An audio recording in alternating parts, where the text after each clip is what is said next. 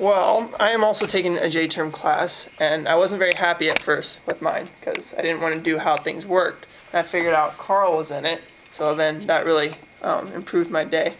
Like, like he said, we are doing the exact same stuff. Here's my bridge, which is so much better than his. He didn't even have it built. It's just uh, one side, and that's not going to hold up anything anyway. And it's just, it's just not going to work. This is just horrible. And mine's solid. I guarantee mine will hold the most stuff. And I too also built a DC electric motor, and I'd like to point out that mine worked an hour before Karl's, and Karl is the physics major, and I'm only an elementary ed major, so I felt very proud of myself. And it went so fast it about came off the little bearing thing, so that was pretty cool. Here, I'll, I'll go show you Karl's. telling you my opinion of Karl's.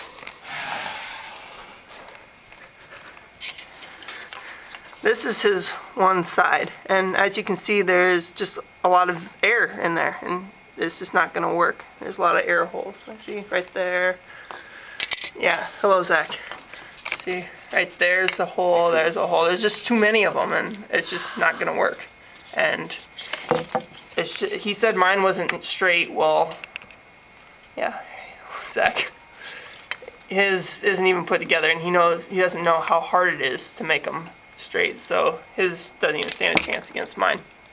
We will um, test him later, and he will see that I win. Boom. And here's his DC electric motor, and then that thing, if you look really closely, it's not even neat whatsoever. It's just really messy and all put together. And I guess that's probably why it didn't really work at all. And in the background, you can see Settlers of Catan, which is pretty much the best game ever. And um, Zach, again, he, he won twice last night, but I won once before him.